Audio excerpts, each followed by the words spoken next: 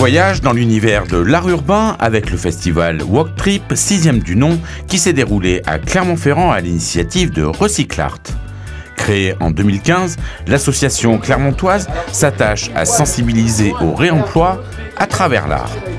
Notre association a pour objectif de faire venir des artistes tout au long de l'année pour leur mettre entre les mains des objets euh, issus euh, du réemploi ou qui devaient aller à la poubelle et euh, leur redonner vie par l'utilisation des arts. Euh, et tout particulièrement du street art. L'idée, elle est de, déjà de montrer qu'on peut euh, détourner des objets, qu'on peut revaloriser en fait des objets par l'utilisation des arts, prouver qu'aussi tout le monde est capable et que bah, n'importe qui peut venir avec son petit objet de la vie quotidienne et avec des techniques qu'on présente à l'aide de bombes aérosols, de peinture acrylique, redonner vie en fait à des objets euh, qui leur pouvaient leur paraître un petit peu vieillots ou qu'ils allaient peut-être jeter parce qu'ils disent ouais il est moche, etc.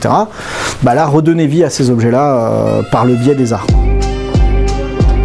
Le festival Walk Trip est donc une véritable immersion dans l'univers de l'art urbain. Au programme, atelier de customisation, exposition des créations dans les commerces de la ville, puis au centre Camille Claudel, du graphe et pour être au cœur du sujet, des visites déambulatoires dans les rues du centre ancien afin de poser le regard au bon endroit pour découvrir les créations des street artistes. Ou comment montrer que l'art urbain a su se faire une place dans le monde de l'art. Le street art aujourd'hui est en pleine explosion. Euh, on a énormément de chance parce que euh, la France est quand même une, capitale du street art assez importante au niveau international.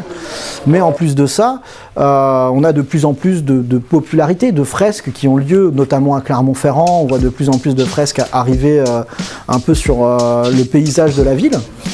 Et l'idée, ça a été d'utiliser, entre guillemets, euh, cette discipline qui devient très populaire pour parler d'une thématique qui est encore euh, un petit peu difficile et des fois un peu euh, inaccessible en termes de communication, qui est le réemploi et la revalorisation des objets sur la consommation responsable.